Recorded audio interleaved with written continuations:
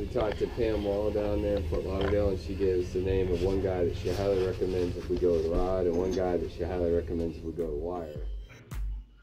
A lot of decisions to go through with the rigging hardware, but we did get the invoice in from West Marine for wire rigging and started fiddling around with the forestay connections and got some great advice on proper boatyard attire. Hey, I got this. I got this out of one of Brandon's storage units, I love it. Love it. and you can't even tell when it gets dirty. I li- I mean, It's never been clean. I think and that's see what the trick with the boatyard is to blend in. That's right. that's You're right. not blending in. You look good. You look great. You look great.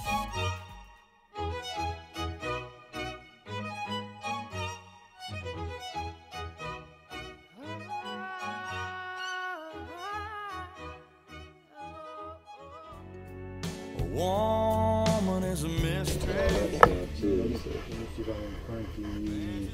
What's this? What's this stem ball? Good question. What is the stem ball? We had a lot of questions about all of these rigging hardware estimates that came in.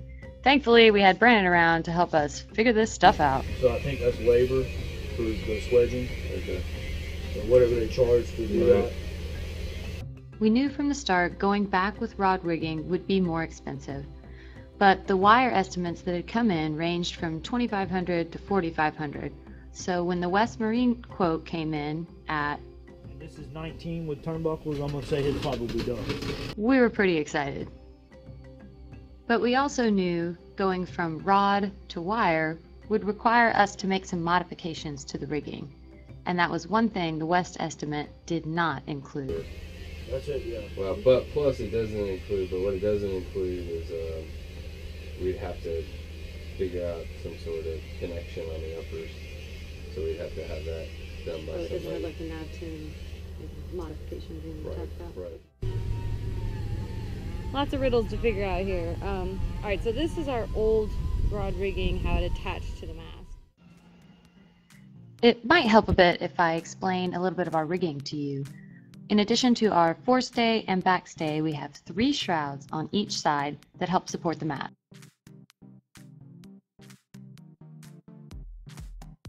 The upper shroud, the lower aft shroud, and the lower fore shroud.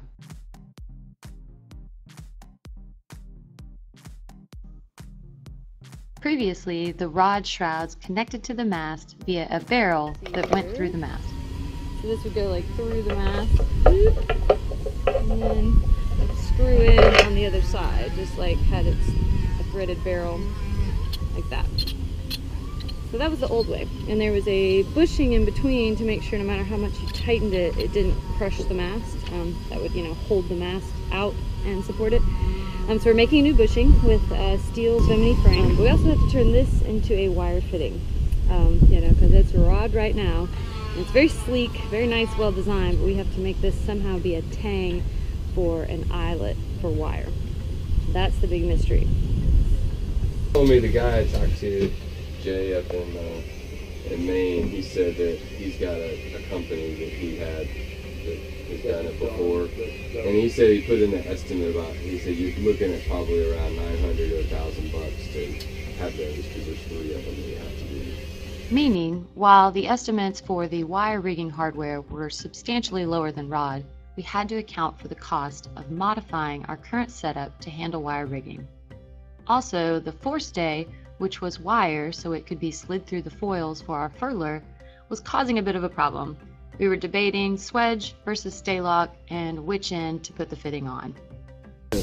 Staylock is not. Is that your only area to work with? That little space right there. Yeah, I mean this is with the area where it slides. I mean this is it's got Loctite on it, so it's not gonna move right now. But I mean this will slide up here and we'll give us access to this. But There's not a lot of room in there.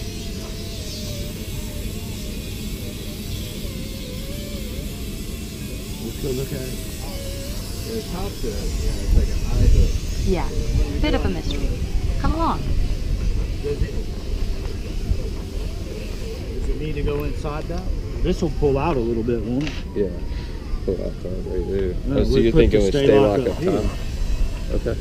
Because they have stay lock eyes. And swedge the bottom. And swedge the bottom. All right. I'm swedge the bottom. Okay. Makes sense to me. You're gonna have to. Stay lock's not gonna fit. Well, it's funny. It The would probably fit on this side, but that side. well, the doesn't. Harken manual. That's what it talks about. Is, is I mean, it talks about if you have a stay lock, here's how you do it, as opposed to wedging. Maybe we don't have the exact coils that they're talking about. What's that? So I mean, it's. Well, I and- mean, it, and I would say, if, if, I mean, if they've got the direction for it, then I mean, it seems like it's manufactured for it because it's like, okay, if you're doing a normal assembly and, and doing a swedge of wire, here's how you do it. If you're doing rod or if you're doing stay lock or Norseman, turn to page 23 and then it's got those directions. You having fun yet? Yeah, rigging is awesome. I let the boys stick on that project so I could turn my attention to the boat to make sure we had her nice and prepared yet again for the nasty fiberglass job we still had to do on the stringers. Hey kids, we're still at the shipyard. uh, this is what the boat looks like. Yeah, I know it. Here's our rotten stringer. She's gonna get worked on though, get fixed. We'll get our mast back. Hey, what happened to our awesome tape job? We could tell we got in there. It was just like somebody was like, "Get this shit out of here. get in there and look at stuff. Well, yeah, we're covered up, like tangled up. Wait, let's see that again.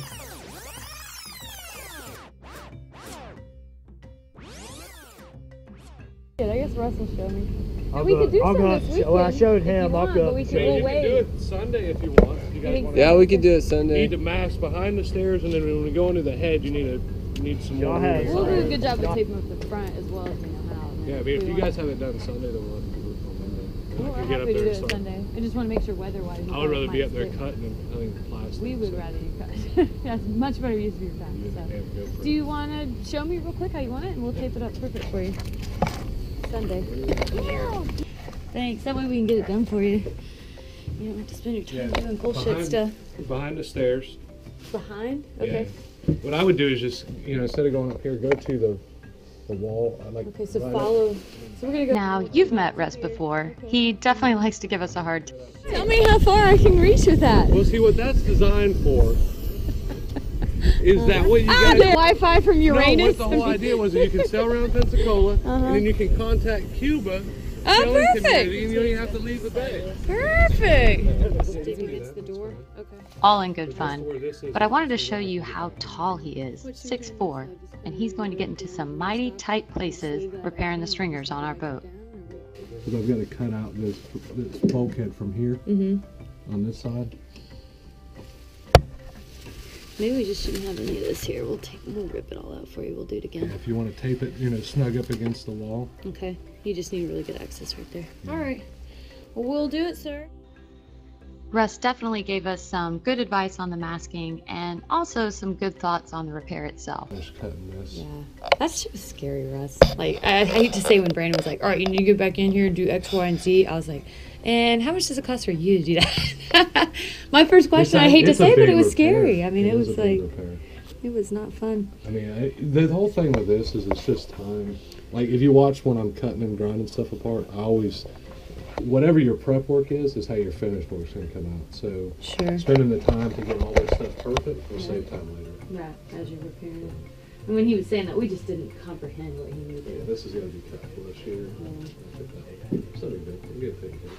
I'm glad. Oh, y'all are taking such good care of us. So Philip and I set to it that Sunday, doing as much DIY work as we could. Do some taping for the boys so everything's ready for them. Saving some of them expensive ready to sail hours. Doing shit we can do ourselves. Because look at this.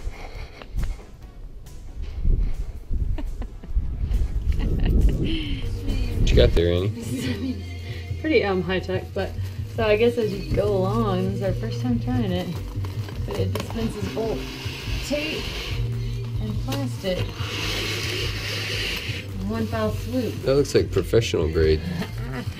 Where shit's getting real on plain stress, and then we pull it down like this. We're taping again. How exciting is this? Love taping. These are Those people that take their boat all the time. All the time. That's all they know how to do. Pretty much. But we were about to change that status because bright and early the very next morning, I was going to be clocking in at the shipyard. Video Annie reports for duty.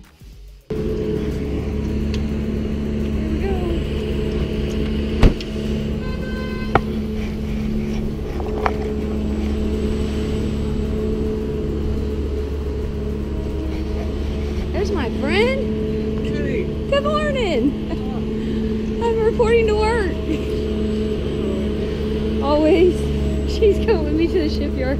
She thinks it's real funny I gotta go to work at the shipyard. Good morning. How are you? How are you? I'm cold. I'm trying to dress warm. Look at this place. We got frost on our ice glass.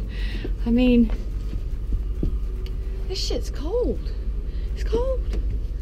Let's see how we're doing down here. Check on our lovely boat.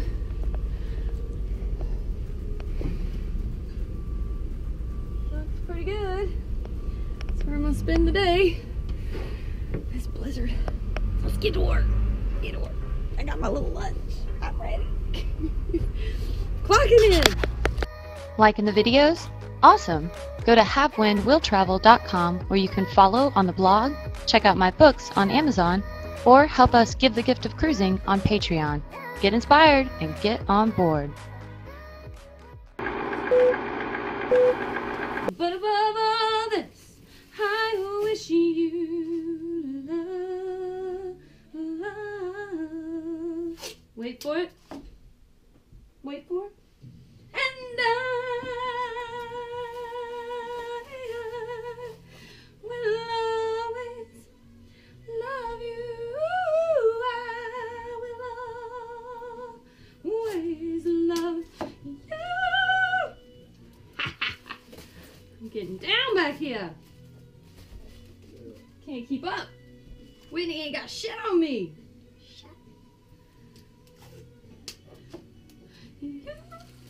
Okay, I can't hit that note. She got that one on me. Just that one. Listen.